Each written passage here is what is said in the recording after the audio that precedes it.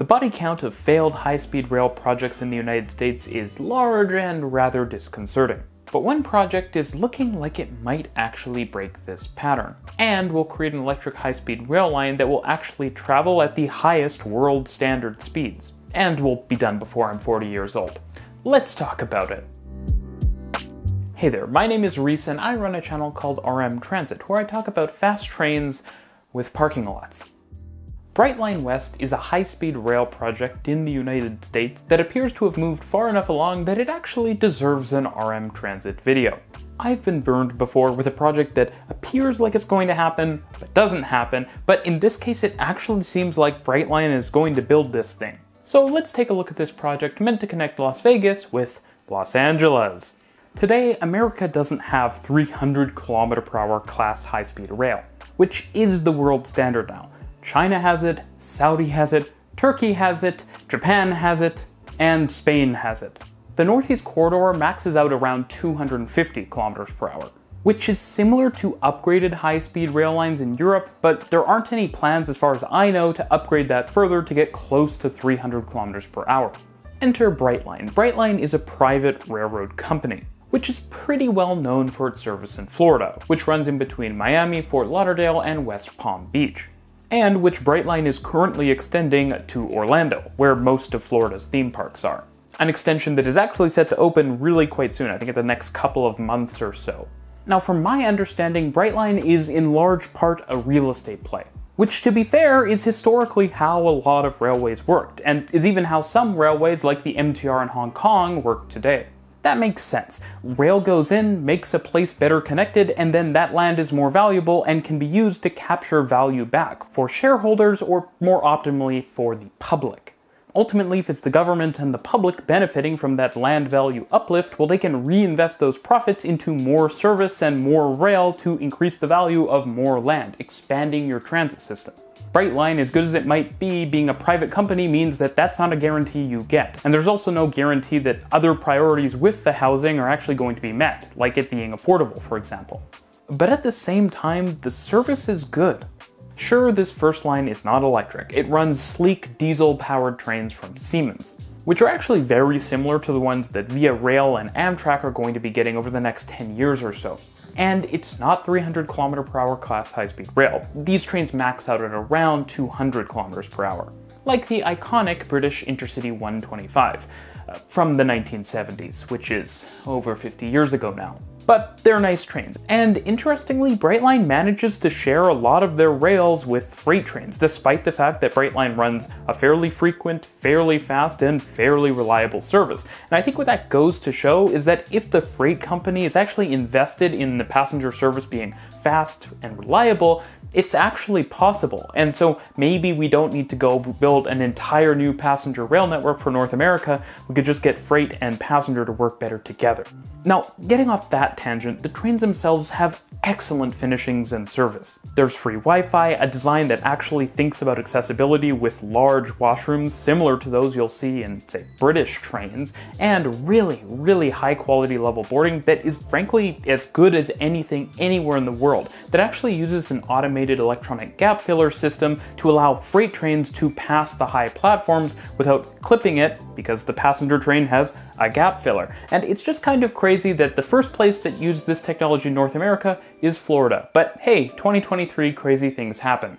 Even better, the service is frequent. During peak hours, it's every half hour, and during off peak, it's every hour. And for what is technically an intercity train service, that's excellent. And even though it's not public run, it does set a standard, which public agencies can and appear to be aspiring to, and that will raise the tide that lifts all North American passenger train boats, and that's just a good thing. For everyone who hops on a nicer passenger trains in North America in like 10 years, well, you probably have Brightline to thank, even if just for a little, little bit of that. And the experience of the stations and just the passenger experience in general is also just better than in the rest of North America. There are big open lounges with seating, no lining up in open halls with very little seating, and there are actually ticket barriers, so you don't have to be scanned like you're getting on an airplane. In a lot of ways, the passenger experience for Brightline exceeds the passenger experience you'll get on international railways, and that's the standard that we should be aiming for in North America, and frankly, in anywhere where you're building a new passenger railway or transit system. There's no good reason not to aim for literally just being the best. But there are real problems. Well, it's sort of miraculous that Brightline is already making money without even opening their pretty valuable extension to Orlando. And to be fair, if you want more trains built in North America, that is good news. The current trains are just kind of small. They only have four cars, which kind of look hilarious, bookended by two diesel locomotives, and while they will get longer, it doesn't really appear that Brightline is being designed for mass transportation. Now, I've heard from others that ticket prices are very high, but looking at the ticket prices at least proposed for the extension to Orlando, they don't really feel all that out there compared to, say, the tickets on Via Rail Canada, for example, including exchange rates, etc.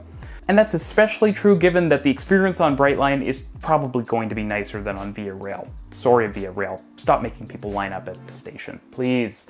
Brightline has a lot of grade crossings, and it ends up hitting a lot of vehicles and people. And while there's definitely something to be said for people being safe and responsible around rail corridors because they're extremely dangerous, the reality is there are few rail corridors in Europe or Asia that have the level of frequency and speed that Brightline does and have that many grade crossings that are so poorly protected. In North America, we don't really use the gates that fully enclose the crossing. We don't use the special radar devices that check if the crossing is clear and set the signaling to red so that the train stops. It's just not a good situation. It would clearly be in the public interest for a lot of those grade crossings to be either closed or just removed. At the same time, Brightline is a private company, which is okay, but I can't exactly go complain to my local politician if I don't like that Brightline is starting to charge way higher prices for tickets. The same way I could with someone like Amtrak or Via Rail, and at the same time during COVID, when it probably wouldn't have been very profitable, Brightline mostly wasn't running, while Via Rail and Amtrak were, even if at reduced schedule frequencies. And that makes sense because, for the most part, Via and Amtrak don't exist to make money, they exist to serve the public. Ultimately, though, if more rail services keep coming online and competing with one another and regulations get updated, this feels like it's a pretty positive step for North American passenger rail. Now, Brightline has something else cooking, and that's a project from LA to Las Vegas which is even more exciting in a lot of ways. It's being designed for roughly 300 km per hour electric trains, and it might even introduce a new high-speed rail model from Siemens to the North American market. Now to be clear, Brightline West won't exactly drop you off on the strip, but it will get you fairly close, roughly about as close as the airport gets you. The truth is that there's not really a place in Las Vegas that you could put a train station where everyone would just be within walking distance of their final destination, or even the vast majority for that matter. What this does highlight though is the lack of better last mile transit in Las Vegas. This is a tourist city, and I even made an entire dedicated video just sort of highlighting what a rapid transit system could look like in Las Vegas. So if you're interested, go check it out up here. Sadly, the reality of most Brightline stations outside of Miami itself is that they just aren't all that well connected to public transit. And in this case, both the LA and Las Vegas stations are going to have tons of parking, like thousands of parking spots, and that just doesn't feel very good. It's not a great real estate play if Brightline is meant to mostly be a real estate play, and it also just kind of sucks to say, hmm, okay, let me drive my car to the train station. There's also the positive pressure that this project could apply, not unlike the first project, but to California High Speed Rail. If Brightline West actually manages to get high speed electric trains running through the desert in just a couple of years, when California High Speed Rail has already been working on this for probably 10, it would be a really good wake up call that California High Speed Rail needs to focus more on getting actual trains running on the tracks it's building so that passengers today can benefit from that infrastructure. Now, the biggest problem with this project, in my personal opinion, is that it's going to LA. The reality is, there are few cities less centralized than Los Angeles, but it's pretty clear to me at least that when most people think of Los Angeles, they aren't thinking of Rancho Cucamonga, which is over 50 kilometers from downtown Los Angeles and all of the transit that is already kind of centralized there. But there is hope. Rancho is actually on Metrolinx not that Metrolink's, San Bernardino commuter line, which actually already features roughly hourly service between LA Union Station and San Bernardino with the trip from Rancho Cucamonga taking about an hour, which means that you could hypothetically in the future travel from LA Union Station to Las Vegas, albeit you're gonna need to get a cab in Las Vegas, in about three and a half hours when you're factoring in a not perfect but still pretty good connection at Rancho Cucamonga. Which, if we're honest, is pretty good because that's already faster than driving. Of course, it is worth mentioning that a lot of people aren't living in downtown LA, and for many people, it wouldn't take quite as long as driving from there. And this is the reality of decentralized cities. Even if you have high speed rail to the city center, well, it can take people a long time to actually get to the high speed rail to then take it out of the city. So the question here is how do we go from eh to great? The first thing that sort of comes to mind to me is the LA Metro connection, or I should say the lack of an LA Metro connection. Currently, the Gold Line is a fair distance west of Rancho Cucamonga, but it's actually going to be extended down to the San Bernardino line. And to me, it seems sort of tempting to say, hey, like, extend the Gold Line 10 ish more kilometers to get to Rancho Cucamonga. It could be a mostly single track extension where only, let's say, one third of the trains actually continue onwards to Rancho but it would at least provide an electric rail connection from Rancho Cucamonga to LA Union Station, which would be good, and at the same time, that's a useful transit connection. So people from, say, Azusa or Pasadena could just get on the Gold Line at Rancho Cucamonga instead of going all the way into downtown LA and then coming back out. Clearly, the best and most important part of a solution is upgrading and electrifying the San Bernardino Metrolink line which on one hand there is a lot of space generally to upgrade the line, but there are also a lot of places where the line is currently single track that will require rejigging things to double track it and expand it for more service, which wouldn't be necessary for 30 minute Brightline Florida style service, but probably just makes more sense in the long run. Uh, places like, for example, where the San Bernardino line runs down the middle of an interstate highway and some of the grade separations that are designed for one track, not two. Now, fortunately, the San Bernardino line doesn't have a lot of grade crossings close to the city center, but as you get further and further out into the suburbs, there are many, and that's not optimal for high frequency or high speed trains. So that's something you're also going to need to work on in the long term.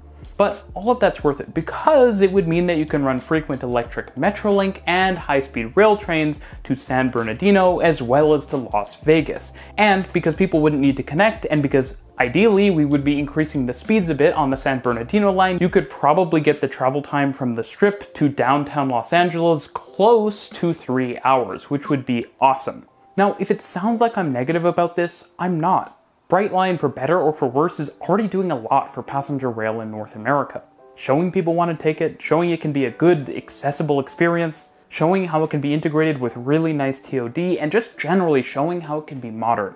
Brightline is also clearly building the ability to construct these projects, and they seem generally fairly successful at it. You can sort of see the improvement from one project to the next, and you can sort of only imagine how much more successful they might be if they built rail in places where there was already good local public transit to take you to the station.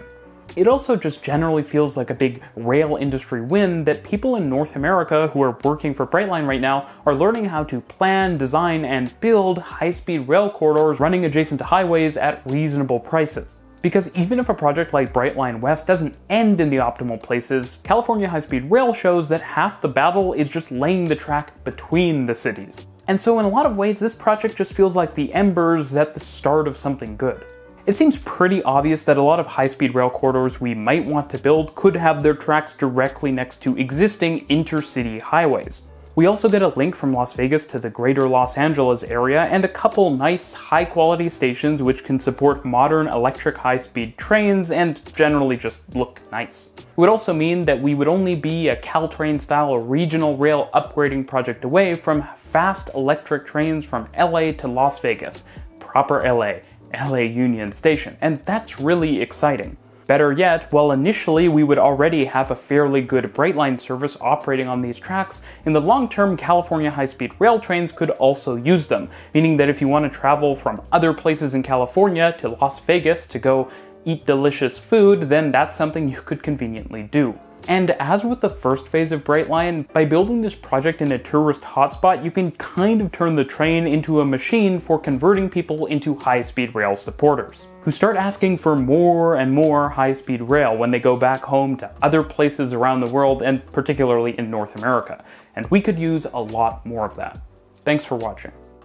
A special thanks to the Roaming Railfan for all of his footage of the construction of Brightline. Go check out his channel in the video description.